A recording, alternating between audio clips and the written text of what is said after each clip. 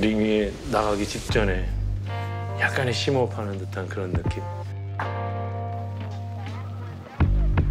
문이 탁 열리면 홍서가 확 달려나가야 되는 그런 마치 폭풍의 전야 같은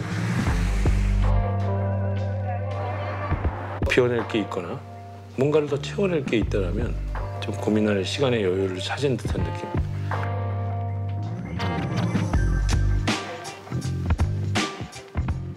완전히 나에 대해서 그냥 해체하고 이 사고에 대해서 한번 훑어보고 전의를 다질 수 있는 그런 기분이 들기도 하고.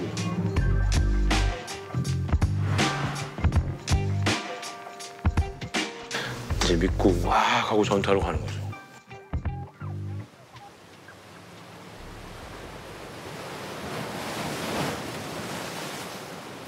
너무 빠르게 지나가는 날들에게서 잠적